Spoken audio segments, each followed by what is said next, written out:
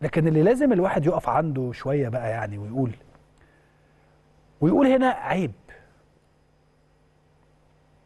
هو محلل شاب مشهور بالألماني. المحلل ده حل وهو بيحلل حاول أن يقلل من النادي الأهلي بشكل يتنافى تماما مع الصورة اللي كان بيحاول أن يقدم بها نفسه قبل كده إنه أهلاوي. وعلى إنه محلل محايد. وهكذا زي ما حضراتكم عارفين.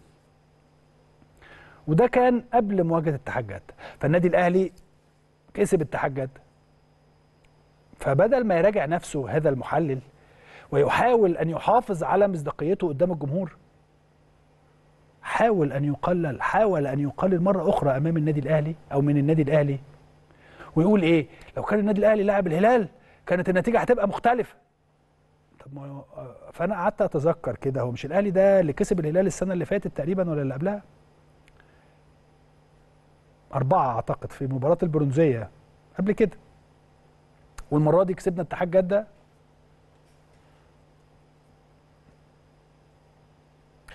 طيب هو مش النادي الأهلي ده اللي كسب البرونزية على حساب بطل آسيا اللي كان كسبان نادي الهلال في النهائي؟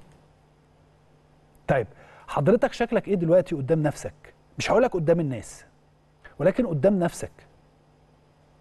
بتقول لنفسك إيه وانت قاعد تبص في المراية؟ الحقيقة أنا كل مرة بلاقي نفسي في بعض الأمور أه بستغرب جدا جدا لأنه أنا نفسي كان بيتقال لي من هذا الشخص أنا تحديدا مش حد تاني إن أنا أهلاوي جدا وكل حاجة ولكن في بعض الأوقات بنتقد أداء الأهلي. ولكن أن تنتقد أداء الأهلي في غير مكانه في غير مكانه أعتقد إن ده شيء مش طبيعي. شيء مش طبيعي. أنت هنا مش بتحلل الأهلي واتحاد جدة مثلا لا أنت بتحلل حاجات تانية. مش هقدر أتكلم عنها لأن إحنا يعني انت هنا بتحلل حاجات تانية مش هقول إيه. والأغرب بعد هذا ال ال ال الفيديو انتشار فيديو لقناة عربية بيتكلم على مغالطات حتى في الأرقام اللي بيقولها. يا جماعة من فضل حضراتكم أي إعلامي في مصر أو في الوطن العربي كلهم إخواتنا وأصدقائنا وبنتعلم منهم. أنا ولا حاجة أنا حد قد كده بالنسبة لهم أنا عارف. طبعا هيطلعوا يقولوا ويشتموا الكلام اللطيف ده أنا عارف. أنا حد قد كده وما ينفعش أشتغل وما ينفعش والكلام اللي أنتوا عايزين تقولوه قولوه ما عنديش مشكلة. اللي عايز يقول حاجة يقولها. أنا بتكلم هنا اللي بيطلعوا يقولوا هذا الكلام. أنا قبل ما أطلع أتكلم في أي حاجة بعمل إيه؟ عندي فريق إعداد محترم محترم. بيشوف لي كل حاجة غير إن أنا بشوفه. فما ينفعش اطلع أقول ارقام غلط. ولو طلعت قلت رقم غلط لازم اعتذر عنه. لأنه اللي حصل إن اتقالت أرقام ما تتقالش من إعلامي لسه تحت التمرين لسه ما بدأش. مغالطات كل الهدف منها التقليل من النادي الأهلي فقط لا غير. بس ما فيش مانع إن أنا أرد وأرد أنا عن نفسي. لما أرد هرد بالأرقام. والأهلي اتقال إيه؟ الأهلي أكثر الفرق الفرق خسارة لمباريات أهلا وسهلا. على الأقل على عايز أقول لحضرتك حاجة دي حقيقة. ولكن ليه؟ لأن النادي الأهلي أكثر الفرق خوضا للمباريات في كأس العالم للأندية من الأساس. يعني ما فيش فريق في العالم لعب عدد مباريات في كأس العالم للأندية زي النادي الأهلي ما لعب. يعني لما تقول لي الأهلي خسر كام ماتش هقول لك. بس هقول لك قد الأهلي لعب كام ماتش. وهات لي نادي في العالم كله لعب العدد اللي النادي الأهلي لعبه. في كأس العالم يعني أنا بتكلم هنا عن كأس العالم على مر التاريخ. وخليني أتكلم بالأرقام. الأهلي لعب 11 مباراة في البطولة. كسبان من 25 مباراة أنا آسف في البطولة. كسبان منهم 11 مش كسبان بس ده كسبان وواخد أربع ميداليات عالمية. لا يوجد فريق عربي ولا إفريقي عملها. فلما تتكلم اتكلم على قدك. شوف لما تيجي تتكلم عن النادي الأهلي شوف أنت بتتكلم على مين. وما ينفعش تقول كلام غلط وغير صحيح. وما ينفعش تقول كلام لمجرد إن أنت تتكلم وتغلط في النادي الأهلي عشان تبقى مشهور. أنا مش هقول اسمك. مش هقول اسمك. وبيقول لك إيه؟ أصل الشناوي أكثر حارس تلقى أهداف في البطولة. طب ما تبص على الصورة كاملة. بص على الجانب الآخر. هتلاقي إن الشناوي أكثر حارس مرمى مشارك في تاريخ البطولة. الحارس اللي أنت بتتكلم عنه ده متوج بثلاث ميداليات عالمية. وبالمناسبة الشناوي هو الحارس الوحيد اللي خد جايزة رجل المباراة في كأس العالم لل- لل- للمنتخبات وكأس العالم للأندية. صعب قوي إن حد يعملها مرة تانية. سواء عربي بقى أو إفريقي أو حتى عالمي خلي بالكم. كلام كله مغالطات عن النادي الأهلي خسر من أندية كذا وأندية كذا وأندية كذا. خليني أقول لك إن الأهلي فاز على تلتين العالم. يا محترمين. الأهلي بيحقق انتصارات على أندية آسيا وأمريكا الشمالية وأمريكا الجنوبية وأوقيانوسيا. ما وقفش قدامه غير أندية أوروبا بس. لما تتكلم تاني يا حبيبي اتكلم على قدك. ويا ريت اللي بيتكلم ايا ما كانت جنسيته. يقول لنا هي الأندية اللي عنده عملت إيه؟ عملت إيه في البطولة؟ ولعبت كام ماتش؟ وكسبت كام ماتش؟ ده بدل ما, الأند... ما الناس دي تطلع تتكلم عن النادي الأهلي بشكل محترم.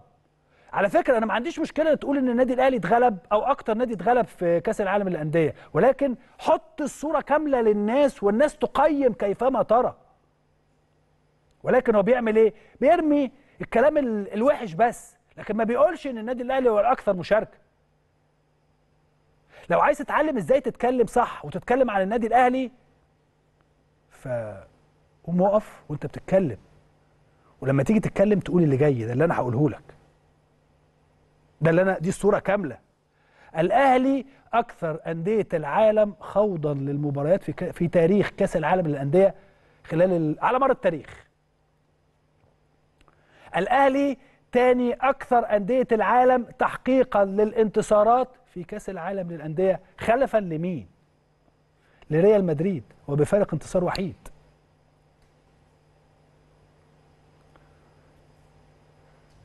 والخسارة دي كانت تقدر تقول إن هي قدام ريال مدريد برضو. يعني كبار مع بعض. الأهلي صاحب أكبر عدد من اللاعبين المسجلين للأهداف في كأس العالم للأندية 14 لاعب. الأهلي صاحب أكبر عدد من اللاعبين الأكثر مشاركة في بطولة كأس العالم للأندية. قايمة أول 10 لاعبين في الأكثر مشاركة فيها سبع لاعبين من النادي الأهلي. الأهلي أكثر فريق في العالم في العالم وصل المربع الذهبي لكأس العالم للأندية طوال تاريخ البطولة. وبعد كده أقول الكلام اللي انت قلته إن النادي الأهلي أكثر الأندية هزيمة في كأس العالم وأكثر الأندية مش عارف إيه والكلام الفاضي اللي انت بتقوله ده. مش فاضي هو. يعني كان من المفترض أن يتم وضعه في سياقه. اتعلم قبل ما تتكلم وقف انتباه لما تيجي تتكلم عن النادي الأهلي. عمرنا كنادي أهلي ما بنغلط في حد. عمرنا ما بنغلط في حد. عموما التاريخ المفروض يعلم اللي عاوز يتكلم. وبالمناسبة مش عايز حد يراهن على فرق منافسة للنادي الأهلي مهما كان اسمها. ومهما كان اسمه اللي بيقول كده. ومهما كانت حالة النادي الأهلي الفنية لأن النادي الأهلي وراه جمهور كبير وعظيم وعنده تقاليد ومبادئ دايما بيكون عنده لعيبة عارفة قيمة التيشيرت الأهلي. وعارفين إن الجمهور ده لازم يفرح. مش مهم اسم المنافس المهم ألعب كرة حلوة وأحقق الانتصار وجمهور النادي الأهلي يروح بيته مبسوط سواء كان في مصر أو بره مصر. ده اللي اتعلمناه في النادي الأهلي. وهو ده الأهلي في اللي العالم كله يعرفه وبيحترمه. بس للأسف الشديد في ناس ما بتتعلمش. وعايز أختم كلامي للناس دي هتعيشوا بلاش الكلمة التانية هتعيشوا وتحاولوا توقعوا النادي الأهلي بكلامكم مش هتعرفوا. وهيفضل كلامكم صدقوني بلا قيمة بالنسبة للأهلي والأهلاوية لأنه الأهلي ما بيسمعش الكلام ده ولا جمهوره وما بيبصش وراه وما بيخشش في خناقات. الأهلي دايما عينه على الإنجاز. إحنا عندنا إنجاز عايزين نفكر فيه وعندنا بطولة عايزين نفكر فيها. اللي هي من بكرة هنلعب أولى مباريات. كل موسم بنجدد دوافعنا مهما كانت الظروف. لكن أنت هتفضل تتكلم تتكلم تتكلم وتبص على النادي الأهلي. عارف إحنا هنبص لك إزاي دايما؟ هنبص لك لتحت كده. لأن أنت عمرك ما أنت اللي هتفضل باصص لفوق. لأن الأهلي فوق. لكن أنت دايما تحت كده. هنفضل باصين لك تحت كده ونقعد نضحك. إن الأهلي بيكسب وبيتوج بكل البطولات. أنت هتفضل آخرك آخرك. تفضل تتكلم. مش هتعمل حاجة تانية.